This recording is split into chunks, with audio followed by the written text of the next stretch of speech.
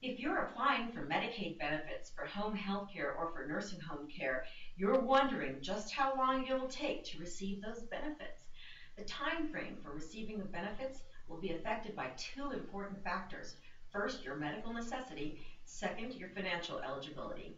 As to the first, talk to your doctor about your medical necessities and whether you need help with your ADLs.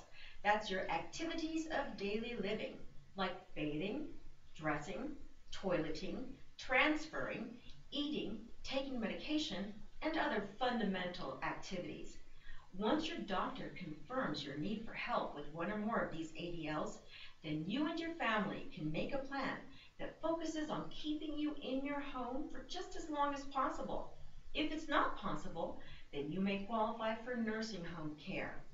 Now, once your doctor confirms your medical eligibility, you move forward with the financial portion and making your application to the state of Texas, the Department of Aging and Disability Services. Once you file your 26-page application with the state, the caseworker has 45 days to either deny, approve, or ask for more information.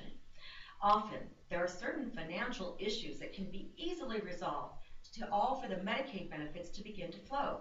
But the state caseworker can often make mistakes that cause unnecessary delays and wrongful denials. The second factor that affects how long it takes to receive Medicaid benefits is your financial eligibility.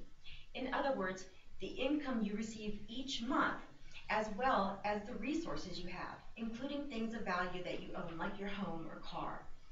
I've had clients who are owners of small businesses that used to be going concerns but are now essentially worthless. However, the state insists that we prove it. So if your name is on a business, you'll be forced to go through a formal process of evaluating the value of that business, which can sometimes cost more than even the value of the business, and of course leads to more delays. If you own real estate in another state or in Mexico, you're required to jump through some hoops to be able to still qualify for Medicaid in Texas.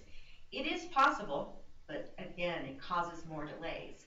I have another case where three appellate hearings now have been delayed because the agencies at the state of Texas have repeatedly failed to give each other proper notice about our appellate hearings. And the person who suffers the most, my client, is sick at home, desperately needing this care. And he has watched his case just go on for months and months. So it's really important that you take the time to review your medical necessities with your doctor and your financial eligibility with a good elder law attorney. With hard work and planning, you may be able to receive your benefits sooner than expected. I'm Stephanie Townsend Ayala. Please keep watching the El Paso Elder Care channel.